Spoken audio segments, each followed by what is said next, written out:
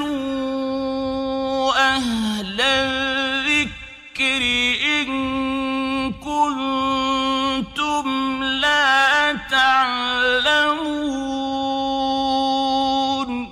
ওয়ালাইকুম আসসালাম রহমতুল্লাহি ওবরাকাত আলহামদুলিল্লাহ রবিল আলমিন ওসরাত ওসালাম আলা আশরাফিল আম্বিয়া ওয়াল মুরসালিন ও বাদ মোহতারামা এক বোন তিনি জানতে চাচ্ছেন যে বেশ কিছু বোনকে আমরা দেখেছি যারা তাদের সুন্দর করে নেকাব পরে তাদের ছবি তাদের প্রোফাইলে ব্যবহার করেছেন এবং কেউ কেউ ফেসবুক সহ অন্যান্য সোশ্যাল মিডিয়াতেও তারা প্রচার করেছেন আমার প্রশ্ন হলো, এই ধরনের মেয়েদের ছবি যেটি নেকাব বাঁধা, পর্দা করা, এই ছবি কি সোশ্যাল মিডিয়াতে প্রচার এবং প্রসার করা যাবে?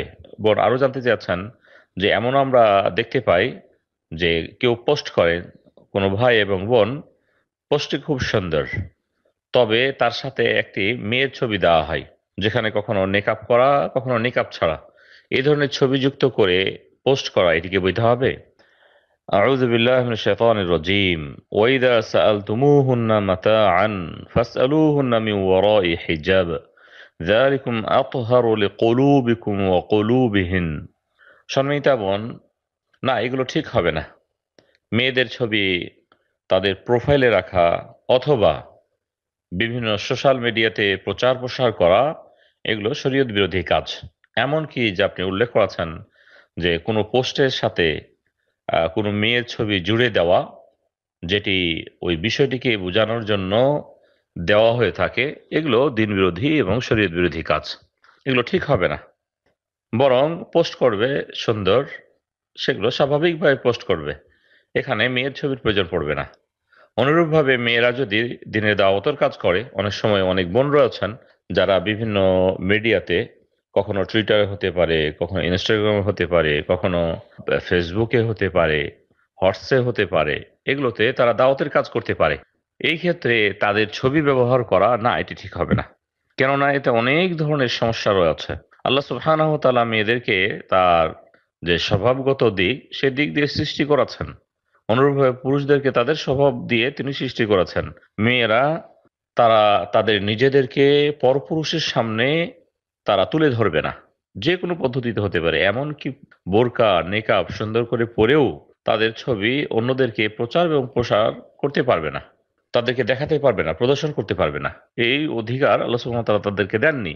কেননা, যখন আমরা এই বিষয়ে আয়াতগুলো পড়ি, স্পষ্ট আল্লাহ সুবহানাহু ওয়া তাআলা তাদেরকে বেশ কিছু নীতিমালা দিয়েছেন তাদের ক্ষেত্রে, বিশেষ করে মেয়েদের ক্ষেত্রে। আল্লাহ তাআলা বলেছেন সাআলতুমুহুন্না মাতাআন ফাসআলুহুন্না মিন ওয়ারাই হিজাব। যখন তোমরা তাদের কাছে, মেয়েদের কাছে কোনো কিছু চাও, পুরুষরা তোমরা, তখন পর্দার আড়াল থেকে চাও, সরাসরি নয়।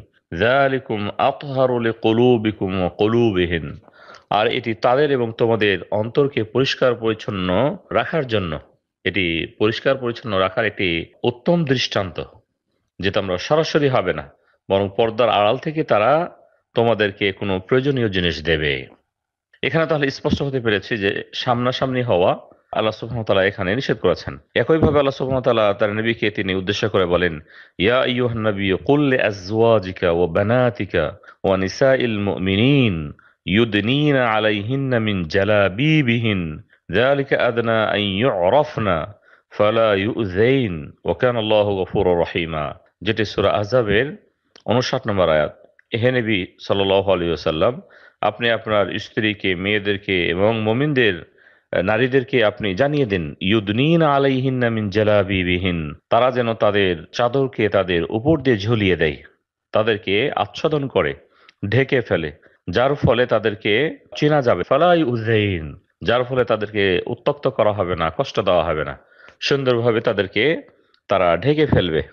একইভাবে আল্লাহ সুবহানাহু সূরা আহজাবের 32 নম্বর আয়াতে বলেছেন, ইয়া নিসা আন নবী আল্লাহ সুবহানাহু নবীর স্ত্রীদেরকে টার্গেট করে কথা বলেছেন যে, হে নবীর স্ত্রীগণ লাস্তুন্নাকা আহাদিম মিনান নিসা।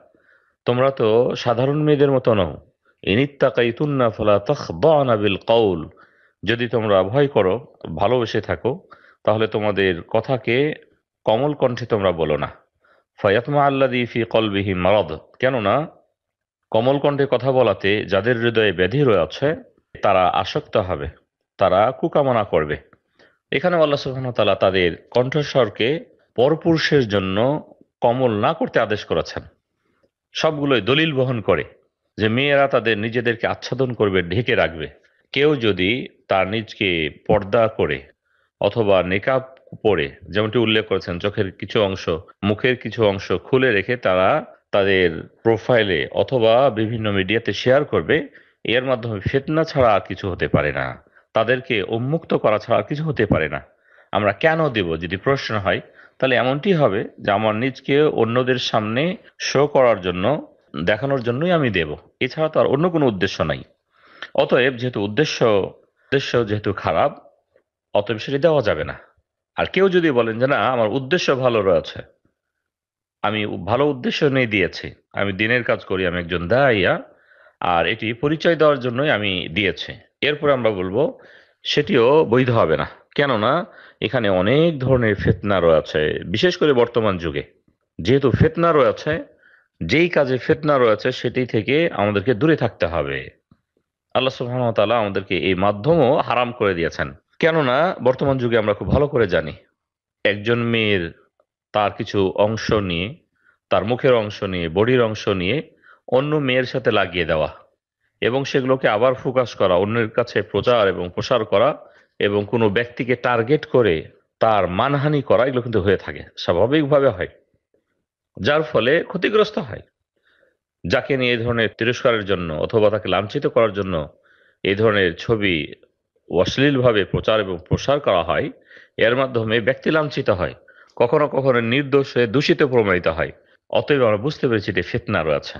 যেহেতু ফিতনা রয়েছে, অতএব এটি নির্দ্বিধায় হারাম এবং শরীয়ত বিরোধী কাজ। তৃতীয় আমরা কারণ বলব যে আমরা অনেক ঘটনা শুনেছি যে শুধুমাত্র তার যে প্রোফাইল পিকচার ছিল, সেই পিকচারকে দেখে আসক্ত হয়েছে।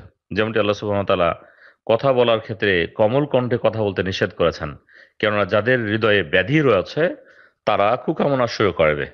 অনুরূপভাবে যারা প্রোফাইল পিকচার দেন অথবা নিজের যে পিকচার রয়েছে, ছবি রয়েছে, সেটিকে প্রচার প্রসার করেন, যাদের হৃদয়ে ব্যাধি রয়েছে, তাদের ব্যাধি মাত্রা অতিরিক্ত হবে, বেড়ে যাবে, শয়তানের কুপ্রচরণা পাবে এবং সে ফেতনায় পড়ে যাবে। আর এমনটি ঘটনা আমরা প্রতিনিয়ত শুনে থাকি যে শুধু প্রোফাইল পিকচারের সূত্র ধরে যেহেতু তাকে ভালো লেগেছে, এই সূত্র ধরে তার সাথে কানেকশন করেছে, বিভিন্নভাবে মেসেজ দিয়েছে, আদান প্রদান হয়েছে, যোগাযোগ হয়েছে। এরপরে তাকে ভোগ করে যেটি অন্যায়ভাবে এরপরে সে তার মতো আবার পাশ কাটিয়েছে। এ ধরনের ঘটনা কিন্তু নিত্যদিনের ঘটনা, এগুলো ঘটে চলেছে। আর এর কারণ ছিল কিন্তু ওই আপনার প্রোফাইলে পিকচার দেওয়া। আপনাকে বুঝতে পেরেছে যে আপনি একজন মেয়ে। এই ক্ষেত্রে যারা বিভিন্ন মিডিয়াতে রয়েছেন, খুব সতর্ক। এক তো তারা পার্সোনালভাবে কারোর সাথে এই ধরনের মেসেজ আদান প্রদান করবে না। যদি কোনো দিনের বিষয়ে আদান প্রদান করতেই হয়, যেই বিষয়গুলো সতর্ক থাকা দরকার, তার মধ্যে এগুলোও একটি। ছবি চাওয়া, ছবি দেওয়া অনুরূপভাবে পার্সোনাল বিষয় শেয়ার করা, এগুলো অবশ্যই সেখান থেকে দূরে থাকতে হবে, যার মাধ্যমে মানুষ ফেতনায় পড়ে। এই জন্য সন্মিতা বোন, আমরা বলব এ ধরনের ছবি পর্দা করে হোক, আর পর্দা ছাড়া তো এমনি হারাম। কেউ যদি পর্দা করেও দেয়, এরপরও সেই ধরনের মেয়েদের ছবি প্রচার এবং প্রসার করা প্রোফাইল পিকচারে রাখা অন্যকে ট্রান্সফার করা, সবগুলোই হলো হারাম। ওয়াল্লাহ তালা আ'লাম।